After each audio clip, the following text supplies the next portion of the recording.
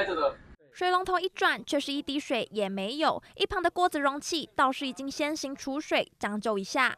这边没法，因为马桶关掉了，都没有水可以用，所以我们都有装水，到时候就免洗餐具这样。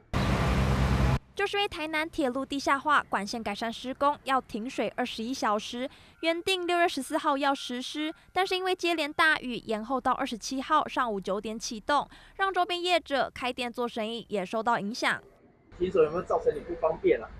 嗯，有一点啊，有有备一些水，只是要烧的部分要暂停了，因为那个要有时候还要洗手、洗刀子之类的。除了台南市东区、北区、中西区停水二十一小时，北区部分里的水压也降低，影响户数总共三万两千九百九十一户，停水期间长达二十一小时。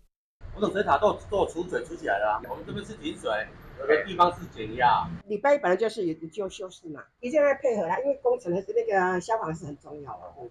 还好停水消息事先已经广发通知，店家体谅施工不便。不过大热天做生意无水可用，实在不方便。欢迎新闻陈彦卫、林伟旭、邱子玲台南报道。